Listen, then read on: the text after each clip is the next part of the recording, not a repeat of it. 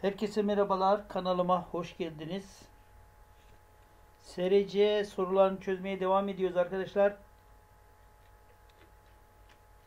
28. denememizi çözüyoruz. SRC 4 ve SRC 3 ile ilgili.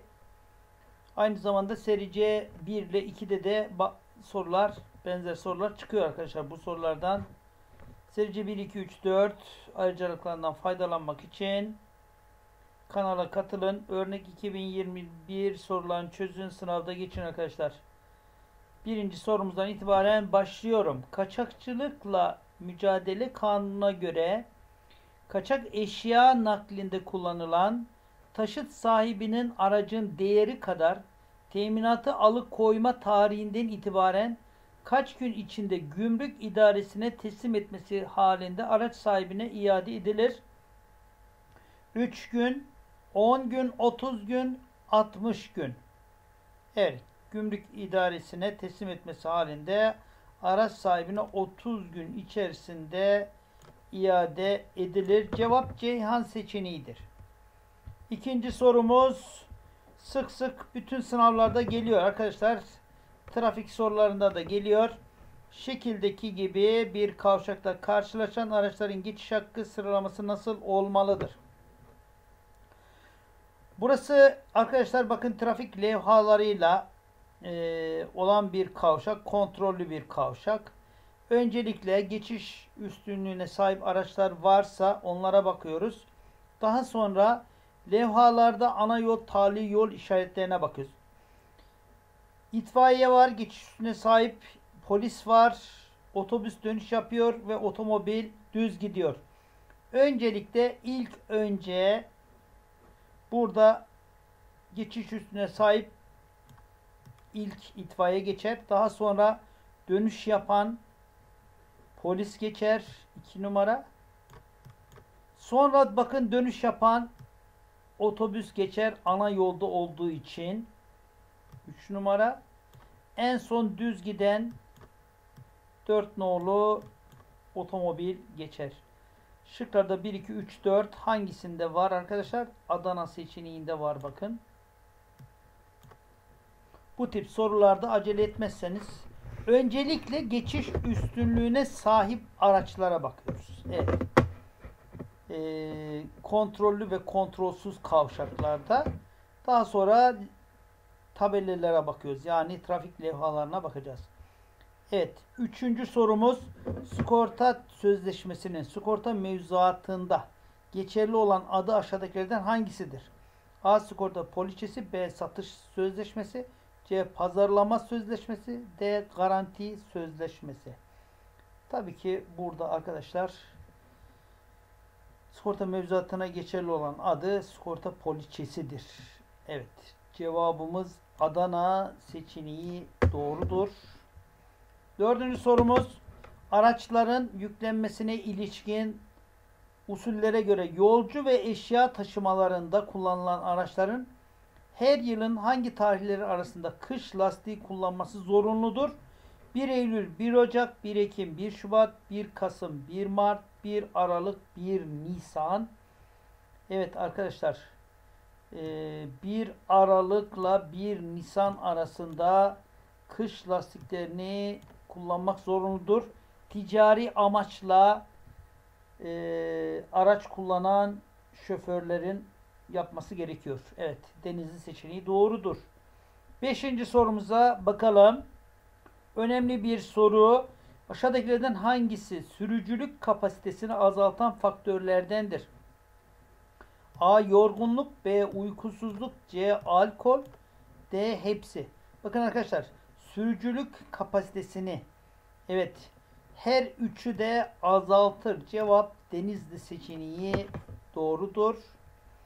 Altıncı sorumuz yapılan tespit sonucunda belirlenen limitlerin üzerinde alkollü aldığı tespit edilen ikinci defa tespit edilen sürücülerin sürücü belgeleri ne kadar süreyle geçici olarak geri alınır?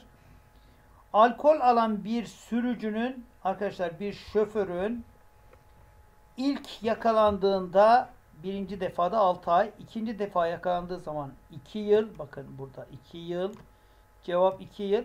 Üçüncü defa yakalandığında da 5 yıldır. Evet. Alkolle ilgili mutlaka sınavlarda soru geliyor. İlk tespitte sürücü belgesi 6 ay geri alınır. Para ve puan cezası verilir. İkinci tespitte sürücü belgesi 2 yıl geri alınır. Para ve puan cezası verilir. Üçüncü tespitte de yine 5 yıl süreli geri alınır. Para ve puan, puan cezası verilir. Ee, ve psikoteknik değerlendirme yapılır arkadaşlar. Yedinci sorumuz. Karayolları Trafik Yönetmeliğine göre 11 saatlik kesintisiz günlük dinlenme süresi haftada kaç defa en az 9 saate indirilebilir? A1, B2, C3, D4 9 saate. E, kaç defa 9 saate indirilebiliyor arkadaşlar? Evet. 3 defa değil mi? Evet, 3 defa. Ceyhan seçeneği doğrudur. Bakın burada çalışma sürelerinden bahsedeyim. 24 saatlik süre içerisinde toplamda 9 saat 4,5 saat araç kullandıktan sonra 45 dakika mola veriyoruz. 45 dakikalık molalarım, molalarımızı 15'er dakikalık aralı, aralıklarda kullanabiliyoruz arkadaşlar. Günlük e, dinlenmeyi de 24 saat içerisinde 11 saat kesintisiz dinleniyoruz ve 8 e, saat kesintisiz olmak üzere 2 veya 3 ayrı süre halinde de kullanabiliyoruz. Günlük dinlenme süresi 1 saat daha eklenerek 12 saate çıkarılabiliyor. 11 saatlik kesintisiz günlük dinlenme süresi haftada 3 defadan olma fazla olmamak üzere en, en az 9 saate indirilebiliyor.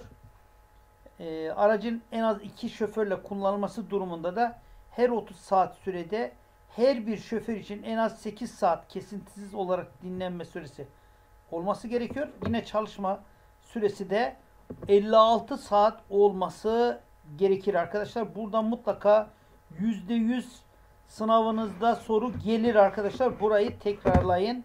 Konu çünkü uzun. Evet.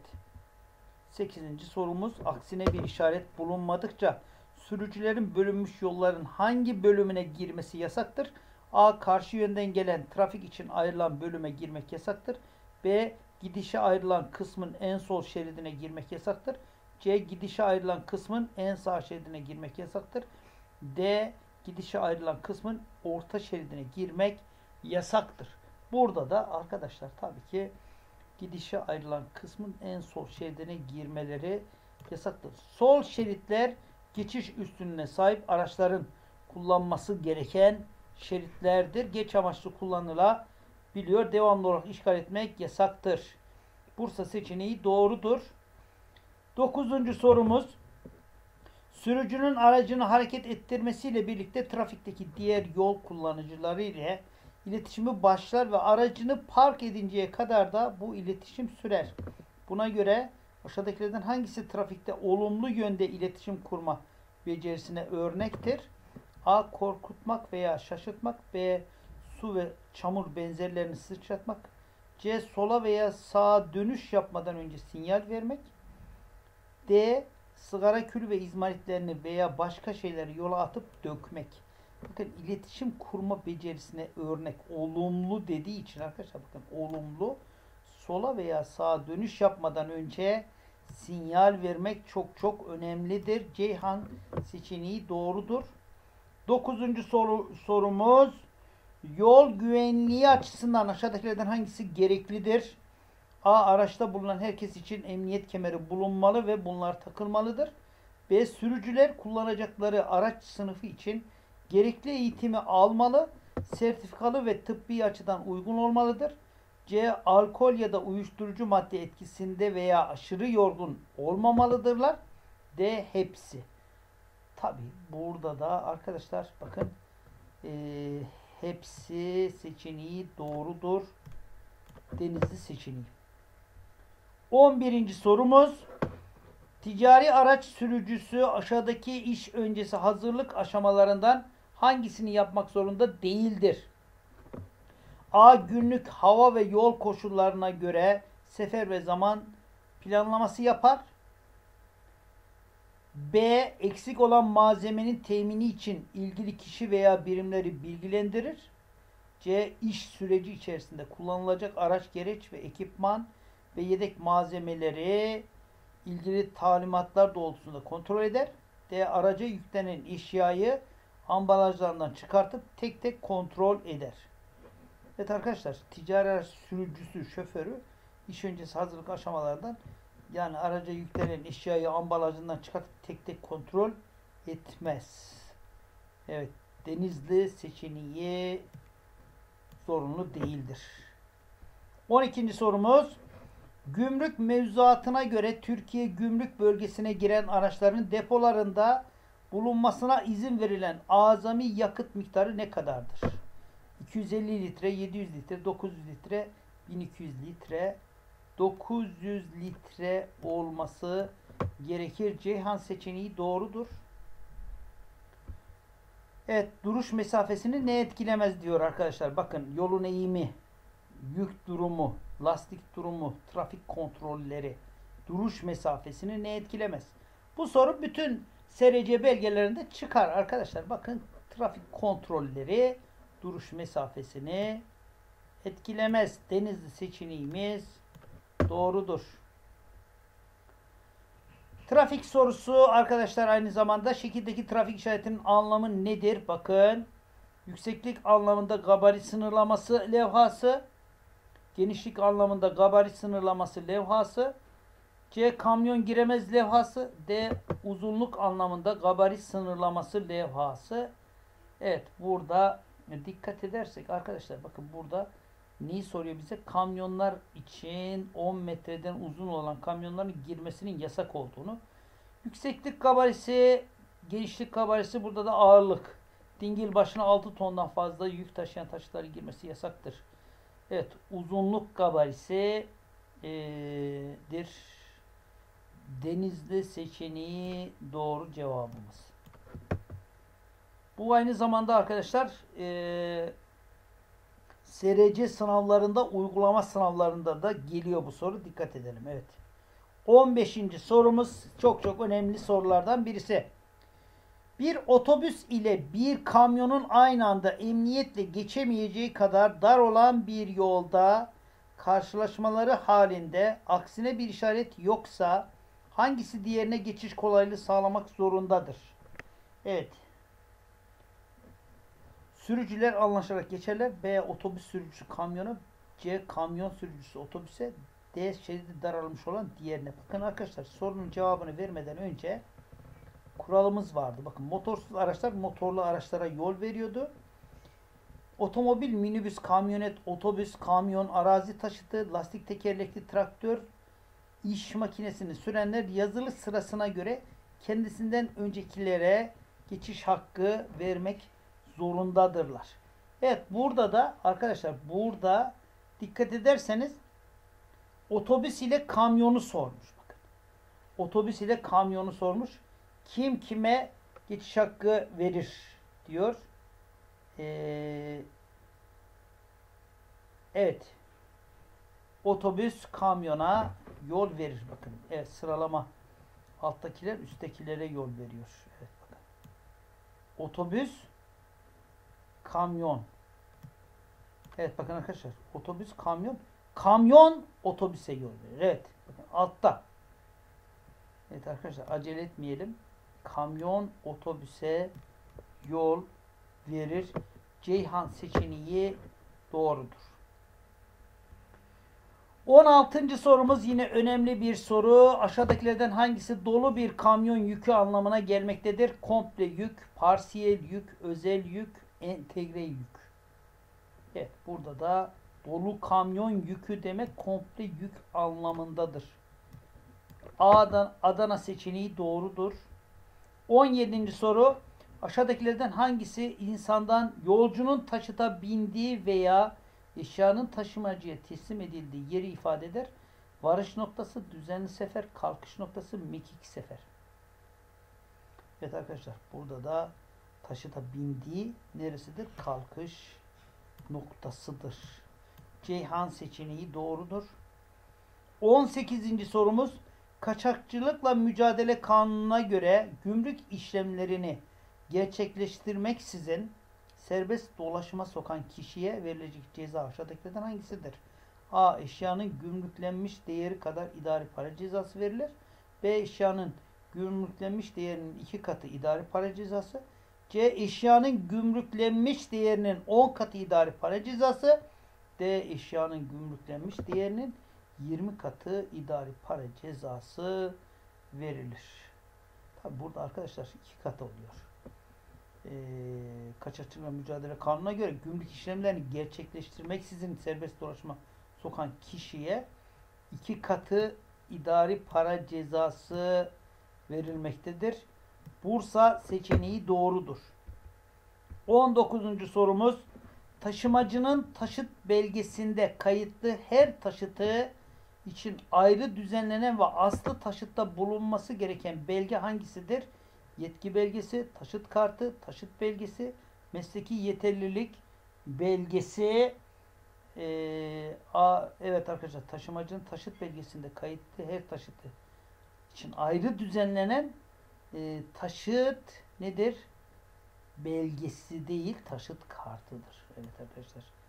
Bursa seçeneği doğrudur. 19. soru. 20. soruya bakalım.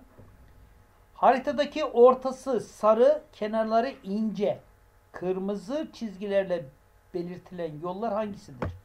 Çok şeritli yol, otoyol, tali yol, bölünmüş yol. Evet. Hangisidir arkadaşlar? Evet. Otoyoldur değil mi? Evet. Otoyoldur.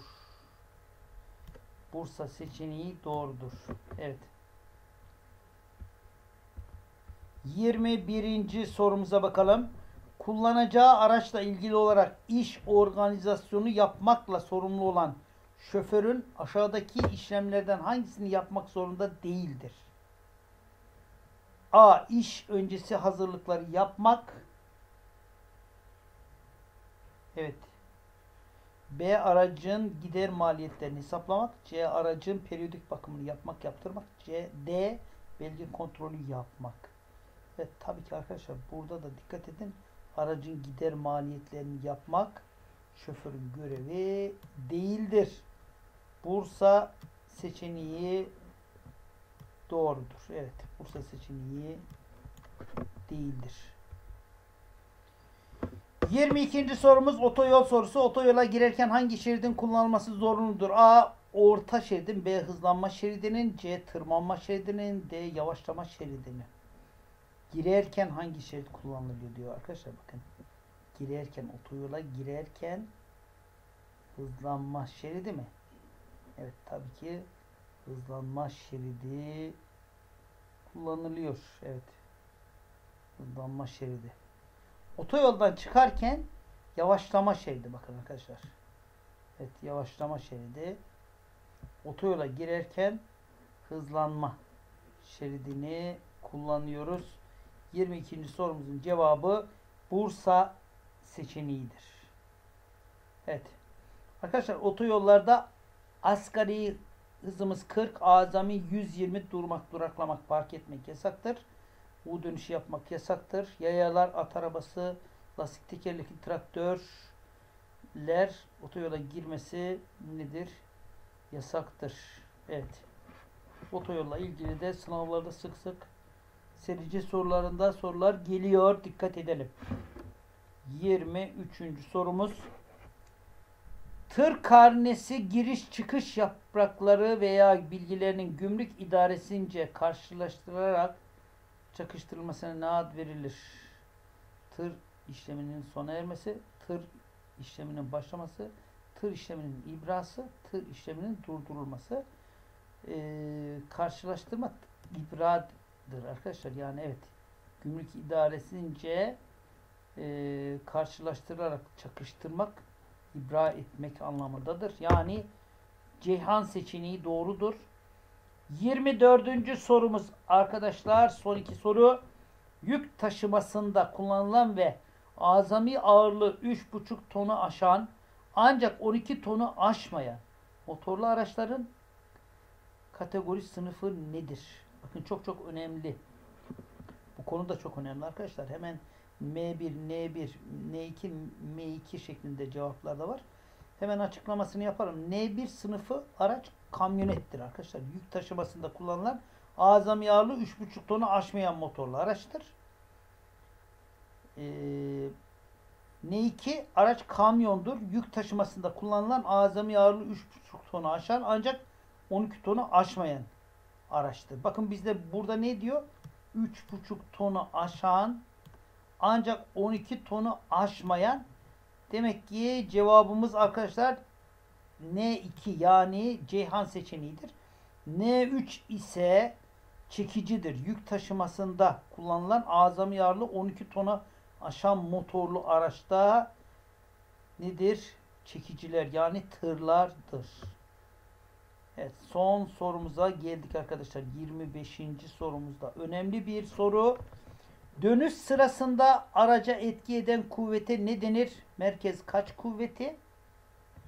Basınç, ivme, kaldırma kuvveti. Evet. Ee, bu da bütün sınavlarda çıkar arkadaşlar. Bakın merkez kaç kuvvetidir? Adana seçeneği doğrudur. Evet arkadaşlar ee, sorularımız burada bitti. Kanala abone olup videoları beğenmeyi unutmayın lütfen. Başarılar diliyorum.